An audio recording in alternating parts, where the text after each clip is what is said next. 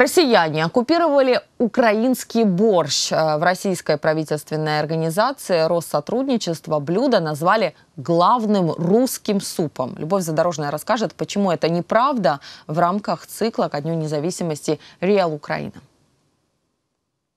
Украинский борщ назвали русским супом. Это утверждение не имеет отношения к реальности. Борщ действительно популярен во многих славянских странах. Существует даже географическое понятие «борщевой пояс». Но историки считают, с блюдом соседние народы познакомили именно украинцы во время миграции в 17 веке. А появилось оно на этой земле. Борщ – це дійсно дуже давня страва. Борщ – это очень давнее блюдо. Его история начинается еще со времен Киевской Руси. Хочу отметить именно Киевской Руси, нашего древнерусского государства с центром в Киеве. Существует даже упоминание в летописях о блюде под названием борщ. А дальше можем только отслеживать, чем этот борщ наполняли. В первозданном виде борщ отличался от современного. Название блюда пошло от растения борщевик, одного из ингредиентов времен Киевской Руси.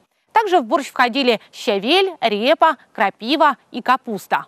Что стосується э, червоного борщу, Что касается красного борща, то свекла в Украину пришла где-то с 10-11 века через Средиземноморье. Очевидно, что ее выращивали и очевидно, что ее также могли использовать для приготовления блюд. Но уже в том виде, который нам сегодня близок. Продуктовый набор прижился в 19 веке, когда распространились помидоры и картофель. Шеф-повар Евгений Клопотенко уже несколько лет изучает украинские блюда. И борщ считает самым важным из них.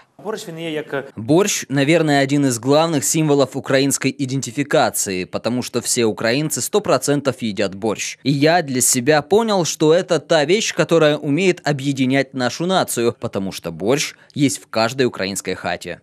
Издавна борщ для украинцев был не только вкусным блюдом, но и символом семьи. На вечернытике, на свадьбах его подавали как жест объединения. А во время поминальных обедов считалось, что с горячим паром от борща в рай улетает душа умершего. Причем в каждом регионе Украины это блюдо готовят по-своему.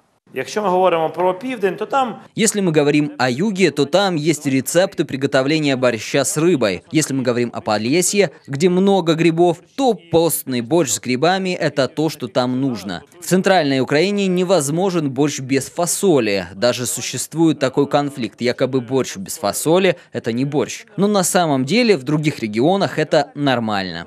Недаром в Украине популярна поговорка «У каждой хозяйки свой борщ». Экспериментировать с ингредиентами можно бесконечно. Неизменными остаются лишь основные – свекла, морковь, картофель и капуста. Произведение украинского кулинарного искусства прошло сквозь столетия и настолько полюбилось соседям из Польши, Беларуси и даже Турции, что они решили перенять традицию и адаптировали борщ под свои вкусы. А некоторые, как Москва, посчитали блюдо настолько драгоценным, что решили даже украсть, обозвав борщ русским супом. Любовь Задорожная, Вячеслав Смирнов, ЮАТВ.